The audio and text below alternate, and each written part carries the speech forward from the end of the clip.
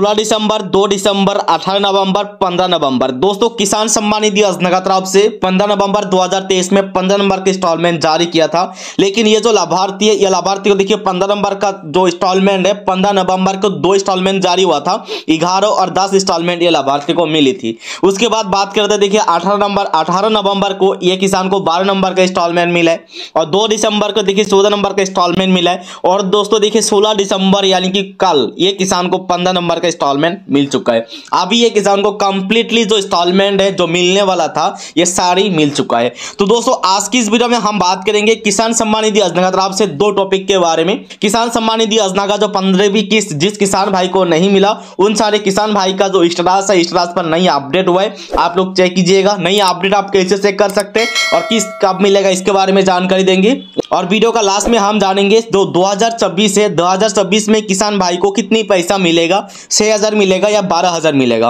क्योंकि बहुत सारे लाभार्थी का ये कमेंट आ रहा था कि छब्बीस से चार हज़ार की किस्त मिलने वाला है, यानी कि बारह हज़ार मिलने वाला है। तो दोस्तों, इसके बारे में कंप्लीट हम क्लियर करेंगे। दो छब्बीस से छह हज़ार मिलेगा या बारह हज़ार मिलेगा? चलिए हम वीडियो को शुरू करते हैं। दोस्तों वीडियो शुरू करने से पहले आपसे को पास एक रिक्वेस्ट है। अगर आप पहली बार हमारे चैनल पे विज़िट किए दोस्तों, चैनल को जो सब्सक्राइब कीजिएगा। रोज़ाना सबसे पहले अपडेट पाने के लिए नोटिफिकेशन बेल को अलाउ कीजिएगा। सबसे पहले सभी लाभार्थी को किसान सम्मान निधि योजना का ऑफिशियल वेबसाइट पर आना होगा। ऑफिशियल वेबसाइट पर आने के बाद दो इन्फॉर्मेशन इस पर दिखाई देगा। सबसे पहले इंस्टॉलमेंट की जब पंद्रह नवंबर को पंद्रह नंबर का इंस्टॉलमेंट जारी किया था, उसके बाद आ रहा है ई केवाईसी का। अगर आप लोगों ने ई केवाईसी नहीं किया है तो आपको इंस्टॉलमेंट नहीं मिलेगा। सबसे पहले सभी लाभार्थी को ई के करना होगा। उसके बाद जाना होगा सभी लाभार्थी को फार्मर कोनार पर। अगर आपका ई के कंप्लीट हो चुका है तो दोस्तों फार्मर कोनार पर आके नाम और स्टार्स पर कर क्लिक करके आप बेनिफिशियरी स्टार्स को ओपन कर सकते हैं। क्योंकि ई के नहीं हुआ है तो दोस्तों आप बेनिफिशियरी स्टार्स को चेक नहीं कर सकते। छब्बीस नवंबर दो हज़ार तेईस में एक अपडेट आया था किसान सम्मान निधि योजना तरफ़ से। अभी किसी किसान का जो स्टेटस है, कोई नहीं दे सकता बिना ओटीपी से। अगर आप दूसरे किसान को ओटीपी शेयर किया, उसके बाद ही आपका स्टेटस दूसरे किसान देख सकते हैं। तो दोस्तों, ये जो अपडेट है, मेरा हिसाब से सही किया है। लेकिन बहुत सारे ऐसे भी किसान हैं, जिन किसान का ई के डंड होने के बाद भी इस रात चेक नहीं कर पा रहे। तो दोस्तों, बुरा भी है और सही भी है।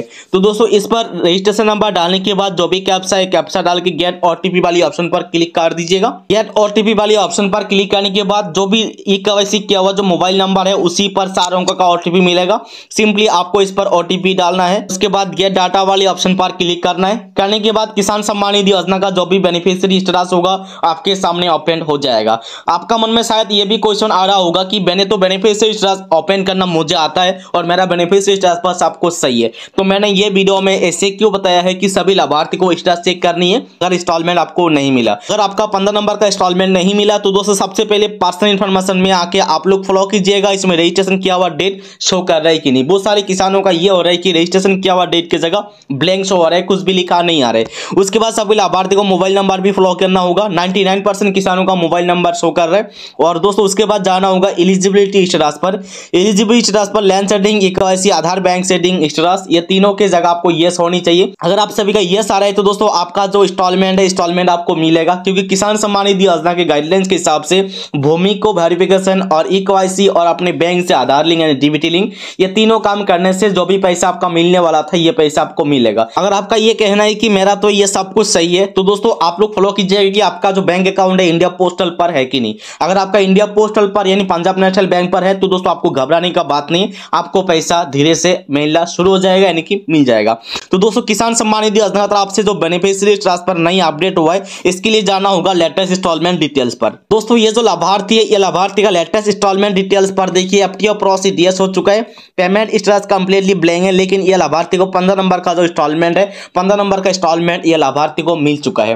तो दोस्तों, किसान सम्मान निधि योजना तरफ़ से अगर आपका लेटेस्ट इंस्टॉलमेंट की जगह एफ़ टू यस बता रहे पेमेंट प्रोसीड आ रहा है तो आपको पैसा शायद ऑलरेडी मिल चुका होगा, यानी कि मिल जाएगा। अगर आप सभी का इसमें एफ़ टी प्रोसीड नो बता रहे तो दोस्तों, आपका पैसा अब तक नहीं मिला, यानी कि मिलने के लिए आपको सबसे पहले एफ़ को यस करना होगा। एफ़ टू यस आप लोग कैसे कर सकते हैं? उस टॉपिक का ऊपर मैंने वीडियो बना दिया उसी वीडियो का लिंक मैंने आई बटन पर दे दूँगा। आप लोग जाके देख लीजिएगा। वरना प्लेलिस्ट में जाके आप पुरानी वाली ज़रूर वीडियो देखिएगा। आपको एफ़ को यस करने के लिए क्या क्या वेरिफिकेशन यानी क्या क्या सही होनी चाहिए सब कुछ जानकारी मैंने देके रखा है। चैनल को सब्सक्राइब ज़रूर कीजिएगा, क्योंकि इसी चैनल पर आप सभी को इन्फॉर्मेटिव अपडेट हर रोज मिलने वाला है। तो अभी हम जानते हैं किसान सम्मान निधि योजना की तरफ़ से दो में किसान भाई को, यानी लाभार्थी को कितनी पैसा मिलेगा? छह हज़ार या बारह हज़ार?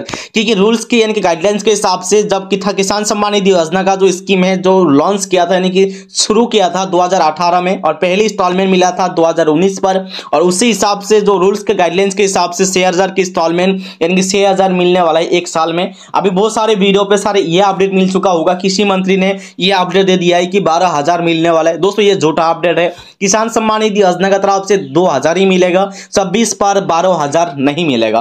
क्योंकि किसान सम्मान निधि योजना की तरफ़ से जो इंस्टॉलमेंट अमाउंट है, या इंस्टॉलमेंट के हिसाब से दो हज़ार ही रहेगा और जो साल के हिसाब से छह हज़ार ही रहेगा। इसका ऊपर कोई भी अपडेट आप तक यानी कि ऑफिशियल घोषणा नहीं किया है। अगर आपका मन में ये सवाल आ रहा है कि बारह हज़ार के लिए दूसरा आवेदन करना होगा, बारह हज़ार के लिए यह काम करना होगा, देखिए बारह हज़ार नहीं है। अगर आपको बारह हज़ार मिलना है तो ये वाली स्टेटस पर मिलेगा। अगर आपको बारह हज़ार नहीं मिल रहा है तो दोस्तों आपको कुछ भी कर लो, लेकिन आपको नहीं मिलेगा। जैसे कि ये लाभार्थी को देखिए, पहली इंस्टॉलमेंट रिसिप्ट हुआ था 2019 पर, लेकिन 2000 installment State Bank of India bank account है, उसी पर मिल चुका है। दोस्तों आप लोग कमेंट करके बता दीजिएगा कि आपको पैसा मिला कि नहीं। अगर पैसा नहीं मिला तो क्यों नहीं मिला? क्या प्रॉब्लम है? आप लोग बता दीजिएगा। उसके बाद ही हम दूसरे वीडियो अपडेट देने के लिए कोशिश करेंगे और हम पास गाइड करने के लिए कोशिश करेंगे। जय हिंद, जय भारत।